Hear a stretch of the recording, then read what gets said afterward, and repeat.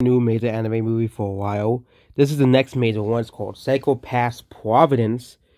Movies, and I'm talking about major movies. I'm talking about movies released in the theaters. I'm not talking about stuff that they have released. Which means this and Slam Dunk are the next major movies. When it's coming out on Blu-ray and DVD.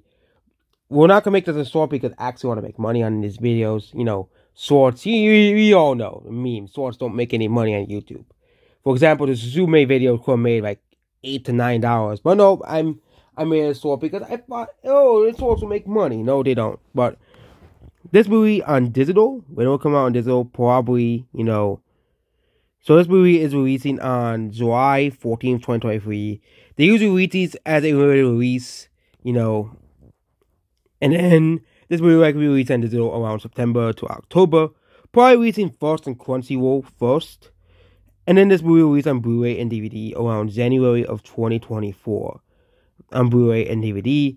That that's mostly because these movies usually take a long time to come out. These anime movies, so that's most likely the release date for this movie. Dragon Ball Z Blu-ray was kind of like an exception to that rule, but yeah, that's it about this video here.